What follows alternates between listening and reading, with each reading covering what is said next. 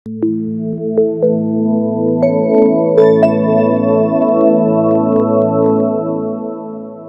الله الرحمن الرحيم. وبه نستعين والصلاة والسلام على أشرف المرسلين سيدنا محمد وعلى آله وأصحابه أجمعين. ونلتقي النهاردة في في لقاء مهم جدا جدا بالنسبة لكم وبالنسبة لنا. واليوم ده بيعتبر يوم تاريخي. لازم تبقوا أنتوا عارفينه. مفروض تبقى أنتوا عارفينه يعني. لأن النهارده انت بتنتقل لمرحلة جديدة خالص. انت لغاية دلوقتي ما ما نقدرش نقول لك محامي. لأن انت ما حلفتش اليمين. قانون المحاماة كده. وقانون المحاماة أول شرط فيه حلف اليمين. يعني اللي ما يحلفش اليمين يبقى كده باطل وإحنا بنجيب الكلام ده في الامتحانات بتاع المعهد عشان تبقوا عارفين. الكلام ده بنجيبه سؤال مست... يعني مستقل ان اللي شرط حلف اليمين اللي ما بيحلفش إيه، بياخد عدم قبول على طول. يسقط قيده فالموضوع مش سهل لأن حلف اليمين ده هو أول وآخر منهج بتمشي عليه حلف اليمين مش إحنا بنقول بنحلف وخلاص. لا بنحلف إيه ده؟ بنحلف في نص دقيقة. لكن ده معاك عمرك. ده معاك عمرك كله. معاك. معاك المحاماة كلها. معاك رسالة المحاماة طول ما إحنا على قيد الحياة. ف آه، إحنا بنبقى القسم بتاعنا هو اليمين بتاعنا. الموضوع مش سهل. لا ده كل كلمة في القسم لها مدلول. كل كلمة بتتناول كل أمور المحاماة في قانون المحاماة في لوائح قانون المحاماة كل الأمور الخاصة بمهنة المحاماة والمحامين وكل حياة المحامين وأسر المحامين وكل علاقاتك بالدولة كلها قانون المحاماة قانون المحاماة هو كل حاجة زي قانون السلطه القضائية. قانون السلطه القضائية عارفينه؟ يعني هتعرفوه. ده زي بل, بل أكتر من قانون السلطه القضائية. لأن السلطه القضائية بتخص بالسادة القضاه وإحنا قانون المحاماة خاص بالسادة المحترمين العظماء المحامين. عشان تبقوا عارفين الكلام كويس قوي لازم تبقى هي كده تبقى أنت عارف كده. وهي أصلا كده. وغير كده ما تنفعش. خالص. إحنا بنتعامل على اننا كيان مستقل. بنقول المحاماة دي يعني الأنبل رسالة في العالم كله هي المحاماة. أعظم شخصية في العالم ومصر بلدنا بقى الأخرى هي المحاماة. لأن المحامي بيتفرد بما لا يتفرد به غيره. محامي لوحده. محامي شخصيتك صفتك كيانك كل ده آه، المحاماة. فأنت لما تيجي النهارده تعتذر نفسك آه عشانك محامي طب أنت بتنفرد عن الناس ليه المجتمع؟ آه بنفرد عن المجتمع. لأن أنا كمحامي أنا بعمل اللي غيري ما يقدرش يعمله. بتفرد بما ليس بما ليس آه، يفعله غيري كمح- كمحامي. وده انت هتعرفه. هتحس انك انت فعلا محامي عظيم جدا محامي فاهم محامي عالم محامي أديب محامي منتج محامي مخرج محامي مصور محامي عارض. هي المحاماة كده فاذا الشخصية دي الشخصيه بنقولها شخصيه متفرده الواقع بيقول كده. والواقع اللي بيثبت كده. وإحنا كمحامين كل يوم ده بنعمل كده. بنثبت وجودك في آه، محيط المجتمع اللي انت فيه بشخصيتك. إحنا بنيجي محامي خلي بالك انت اخطر من السلطة القضائية. انت اخطر من القاضي خلي بالك. لأنك أنت هتتحاسب الأول. لازم تبقى فاهم. ولا قضيان في الجنة وقاضي في النار ولا إحنا وإحنا كده في في مكان. بس في مكان بنبقى في عليين أو العكس. أو العكس. لأنك أنت اللي أنت أحد أعمدة العدالة. المحامي. المحامي زي ما بقول المحامي بيبدأ الدعوة وينهيها. طب إزاي بقى؟ محكمه محكمه بتبدا الدعوة وبتنهيها؟ لا. إحنا اللي بنبدأ الدعوة وبننهيها. إحنا بنبدأ الدعوة من ساعة ما تبدأ الجلسة. من ساعة ما المحكمة تقول للحاكم انت الرول. بينتهي الرول. مين اللي بيبدأ؟ حضرتك وحضرتك. محامي. حاضر مع المتهم حاضر مع المتهم الحق المدني حاضر مع المدعي. كل ده انت اللي بتبدأ بيه الدعوه سواء كانت دعوة مدنية دعوة مدني مستأنف أو جنايات أو كده. هو ده المحامي. فإذا لما تيجي تقول المحامي آه المحامي هو أحد أعمدة العداله الأساسي. خلي بالك إحنا من غيرنا ما يبقاش فيه. لا إجراء ولا موضوع ولا حاجة. إحنا فعلشان كده إحنا بنتعامل من المنطلق ده. قانون القانون قال كده. قانون إدانا كده. والقانون إدانا إدى إدى المحكمة سلطه تقديرية. مش كده؟ مش أنتوا عارفين كده؟ إن القاضي له سلطه تقديرية في بحث الدليل والاطمئنان اليه ويطرحه من الناحية دي أو الناحية دي. أو كده يعني. هو حر انت بقى انت بقى كمحامي اللي بتختار الدليل اللي هتقدمه للمحكمة عكس الأدلة المقدمة من سلطة التحقيق ايا كان نوعها صح؟ مش فاهمين أنا آه أنتوا لسه معلش يعني أنا هقول عليها نبذة بسيطة كده. انت لما تيجي ال- ال- القضية بتبدأ إزاي؟ القضية بتبدا ممكن بوجهه ضرب مثلا محضر في الشرطة يروح على المركز بتاع على ال- ال- ال- المستشفى المستشفى تعمل تقرير تقرير يجي على المركز تاني ويرجع من المركز على النيابة النيابة تخلي السبيل و أو تحقق يعني حسب الواقع وبعد كده بتبدأ النيابة تعمل إيه؟ تحيل القضايا لمحكمة الجنح. طبعا أنتوا أكيد عارفين الأستاذ محمد كركاب آه، عضو مجلس النقابة العامة آه، عن دائرة أسيوط بس هو عن الجمهورية كلها لأنه منتخب عن الجمهورية كلها وشخصية محترمة جدا جدا وأنا يمكن ويعني أنا عايز لما أوصف بوصف حاجة يعني بسيطة قوي لأن هو آه، شخصيته وجواه. وراجل آه، آه، حريص جدا على العمل العام وحريص جدا على شباب المحامين وإحنا كلنا كمجلس نقابه عامه بالنقيب العام الأستاذ حليم علام آه، كلنا يعني إيه كلنا منتظرين اليوم ده وكلنا جايين النهارده علشان نحتفل بيكم ونفتخر بيكم وتتخرجوا النهارده إن شاء الله فده اللي إيه اللي إحنا بنبقى حريصين عليه.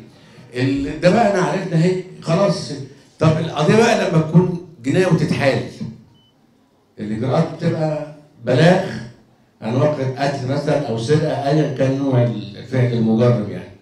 والشرطه بتربط محتاج ضبط آه، ضبطت متهمين ما ضبطتش هربوا تحريات ما أعرفش إيه. المهم نازل على النيابة. النيابة بت- بتحقق في القضية كلها. النيابة بتحقق في كل في القضية بتجيب كل أدلة الشهود اللي هي خاصة بالقضية محل التحقيق. طيب أيا كان ده ان ده شغل إيه؟ النيابة العامة. وبعد النيابة العامة بتحقق القضية يقول لك القضية خلصت تحقيق قضية خلصت تحقيق خلاص مش في مرحلة التحقيق. التحقيق خلص والنيابة العامة عملت قايمة وأدلة وثبوت وبعتها لمين؟ للنيابة الكلية للمحامي العام عشان يعيد. المحامي العام قرا القضية النيابه الكلية قرأت القضية لقت التحقيقات مستوفاه فإيه؟ يحيل على نيابه المحكمة الاستئناف المختصة علشان تحدد المحكمة الجنايات اللي هي هتنظر القضية دي. خلصنا. هنا بقى هنيجي في الإيه؟ المحامي. هنيجي إحنا بقى القضية هتتحال المحكمة. آه، طبعا المم- الم- الموكلين أو المتهمين بيوكلوا هم بيوكلوا محامين أو محامي حسب حسب الواقع اللي هو موجود قدامنا. خلينا بقى نوصل للمحكمة. خلينا نوصل لإيه؟ للمحكمة. لما تيجي توصل للمحكمة مفترض أنت معاك النسخة بتاعت القضية اللي المحكمة بتنظرها أنت معاك نسخة والمحكمة معاها نسخة والنيابه معاها نسخة. أنت بتبدأ دورك من الأول بقى. تبدا دورك من الأول.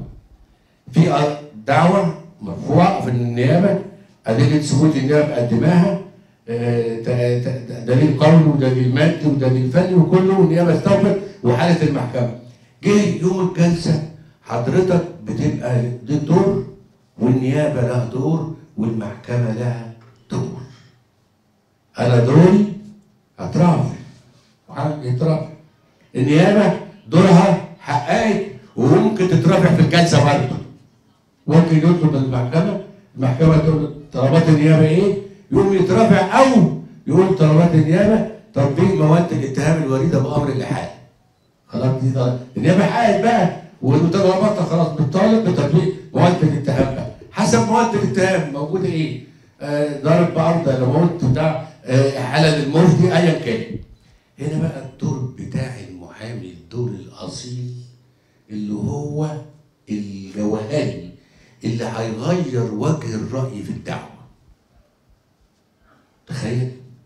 دور الجوهري اللي هيغير وجه الرأي في الدعوة. ركز معايا دقيقتين. ماشي؟ انت خدت القضية بتاعتك؟ حضرت أول جلسة؟ طلبت المحكمة آه، تأجيل لشهود الإثبات. محكمة أجلتك لشهود الإثبات. آه، وجت يوم الجلسة بقى اللي أنت انت هتعمل إيه بقى انت كمحامي؟ هتعمل إيه؟ كمحامي بتبدا تقرا القضية من الجلده للجلده من أول ورقة اتكتبت لغاية آخر ورقة ايا كان. بتبدأ تقراها وتعيشها. تقراها خلي بالك مش تقرأ قراية تقراها وتعيشها. زي ما إحنا عايشين كده. إحنا بنتكلم ولا ورقة ولا قلم ولا أي حاجة ماشي؟ يبقى أنت تتعايش الواقع عشان تبدا قدام المحكمة تعرض دفاع المتهم اللي انت موكل ليه؟ عرض موضوعي. انت تعايشته وانت اللي رجحته وانت اللي حددته طيب وهتعرض ده على المحكمة. انت عندك أدلة ثبوت إحنا بنقول أدلة الثبوت بتاعتنا إحنا الدفاع بقى. بنحضر أدلة الثبوت. النيابه مقدمه أدلة ثبوت.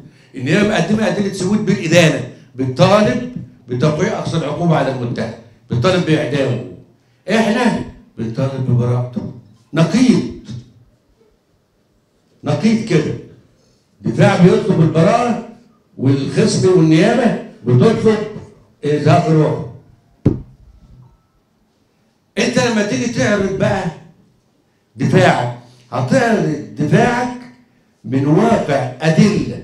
موضوعية وفنية أنت انتهيت ليها وأنت بتتعايش بالواقع وحددت التكييف القانوني من وجهة نظر حضرتك إيه بقى؟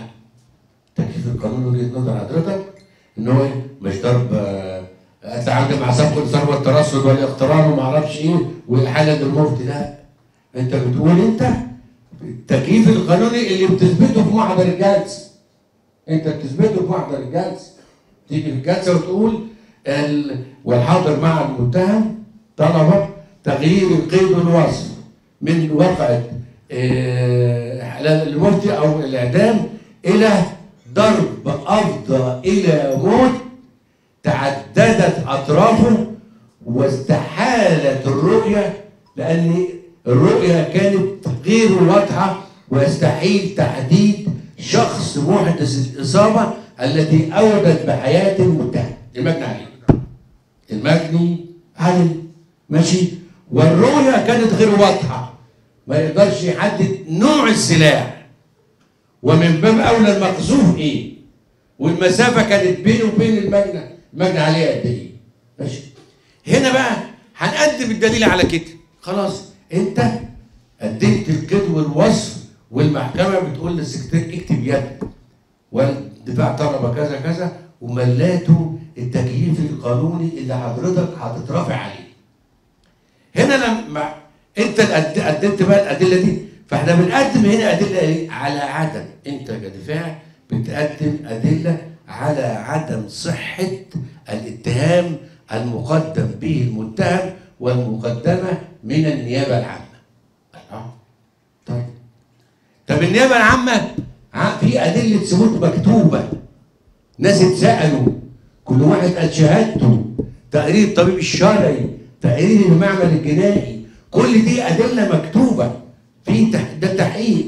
انت بقى ما عندكش أدلة مكتوبة. انت عندك هنا اللي انت مليته في الجلسة واللي انت بقى هتعرضه. هتعرض كل الأدلة دي للمحكمة وفي نفس الوقت. بتأكد عدم صحة الاتهام وفي نفس الوقت انت بتقول عدم صحة الاتهام المقدم من النيابه العامه انت قدمت ده وشرحت شرحت كل الأدلة اللي عندك. وهنا بقى انت بتشرح مش مش ورقة مكتوبة. لا النيابه مقدمه دليل مكتوب. تحقيق كله 500 ورقة. انت عرضت ده كله من فكرك من علمك. من من, من كل وسائل المعرفة. من قرايتك. من قرايتك للواقع أنت بتقراها مش بتقرأ بلسانك لا ده أنت بتتعايش الواقع بكل جوارحك الموجودة كلها. لأن هو ده كده؟ إحنا مش بنتكلم بلسان لا. إحنا بنتكلم بكل جوارحك اللي ربنا كل إحنا كل شوية أنا بتكلم. بس أنا بتكلم. بتكلم بايديا وهنا وك- بتعايش معاك. المحكمة بتتعايش معاك. بتتأثر. وجدان المحكمة بيتغير ماشي؟ يبقى هنا الدفاع بيغير وجه الرأي للدعوة. يبقى في اعظم المحامي؟ في. في في اعظم المحامي؟ فيش. هو البطل. فيش فيش اعظم من المحامي هو الأول هو اللي بيبدأ وهو اللي بينهي. هو العالم هو المفكر هو المبدع هو الأديب هو الفقيه هو كل حاجة. نوعان نبدأ بقى إيه؟ هن عشان حفظ اليمين آه عايزين بقى اللي أنا قلته ده كله خلي بالك يتعلق بيكوا أنتوا يتعلق بالمحاماة بشخصية المحامي خلي بالك إحنا أساس عندنا على فكرة أول أول شرط بالنسبة للمحامي الالتزام الصمت خلي بالك الصمت إحنا كلنا إحنا بنتكلم كتير بس قبل كده لازم تصمت. الصمت ده مهم جدا جدا لأنك بيخليك تعيش مع نفسك. وأنت قاعد في الجلسة دماغك بتفكر ودانك بيتحرك. مشاعرك كلها بتتحرك. ليه؟ بتتحرك وبتتكلم معاك ومحدش سامع. انت قاعد بتتكلم مع نفسك محدش سامعك. بتتكلم مع نفسك عايش قضيتك اللي انت هتتراجع فيها. و... وبتبقى قاعد حد يقول لك سارح. لا انت مش سارح. انت بتتكلم مع نفسك. انت بتستعرض حاول الدفع ده الأول ولا التاني ولا هنبدأ بإيه ولا هنأجل عشان نعمل إيه؟ ده ده محاماه إنما الكلام لا مفيش. لو وقت ده بيجي أهو. فعلشان كده شرط من الشروط اللي إحنا في آه، بالنسبة للمحامي. الأمر الآخر الأخلاق. الأخلاق دي هي ربنا سبحانه وتعالى فرض بالنسبة لنا. فرض بالنسبة لنا. ليه؟ لأن الأخلاق دي ربنا سبحانه وتعالى وصف سيدنا محمد وقال له إنك لعلى خلق عظيم. ده معاكم فاكرين ولا مش عايشين ولا إيه بالظبط؟ ده الحياة ده دي الحياة اللي إحنا عايشين فيها. خلي بالك. لما سيدنا مح... لما الحق سبحانه وتعالى سيدنا محمد وقال له إنك لعلى خلق عظيم ما كانش الرساله نزلت. إحنا كنا في زمن الجاهلية. ما كانش بيقرأ. خالص. يعني إذا الأخلاق قبل العلم الأخلاق قبل العلم ده ربنا سبحانه وتعالى اللي- فرض كاتب والفرد بتاع ربنا ده خلاص مش في كلام. الحياة اللي هنمشي عليه يبقى اذا الأخلاق هي أساس الحياة. وإحنا تحديدا الأخلاق بتبقى زايدة عندنا شوية. مش مصدقين إزاي؟ آه الأخلاق زايدة عنا عن كل عن كل حد في المجتمع. إحنا.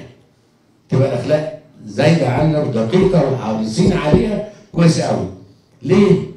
لأن ربنا سبحانه وتعالى آه، مديك كل حاجات غيبيات كمحامي هو انت بتقبض آخر الشهر؟ لا. صح تقبضوش آخر الشهر. ما نقبضش بس بنقبض. بيجي لك إيه بقى؟ الرزق بتاع ربنا الغيبي. الغيب. ربنا سبحانه وتعالى إيه؟ ويرزق من يشاء بغير حساب. يعني انت بيجي لك رزق بيخبط عليك على مكتبك أو على بيتك كده وبيقول لك قوم أنت نايم. تعالى أنا فلان الفلاني. أنت ليك عندي مبلغ كذا باقي الأتعاب اللي أنت حضرت فيها القضية وخد لك جراءه شوف شوف بيجيبك منين؟ بيصحيك من النوم ويديك رزق. هو اللي بعته لك ربنا سبحانه وتعالى. هو اللي بعته لك ربنا مش حد تاني. فعلشان كده لازم نبقى حريصين قوي على إن إحنا لازم نبقى على خلق عظيم. فده مهم. وبعدين في حاجة يعني يعني انت انت انت بتشوف الشاعر بيقول إيه؟ لا تحسبن العلم العلم اللي أنتم متعلمينه. القانون. ينفع وحده. ينفع. ولو لازم وطلع روحنا في الجامعة وشرفنا. وسهرنا الكل حفظنا القانون. بس لا تحسبن العلم ينفع وحده. ليه؟ شيء بقى. ما لم يتوج ربه بخلاق؟ والمال إن لم تكتنفه شمائل تعليه كان مطية الإخفاق الخراق إني لتطربني الخلال كريمة طرب الغريب بأوبة وطلاق وتهزني ذكر المروءة والندى بين الشمائل بالذات المشتق. فإذا خلي بالك من اللي جاي فإذا رزقت خليقة محمودة فقد اصطفاك مقسم الأرزاق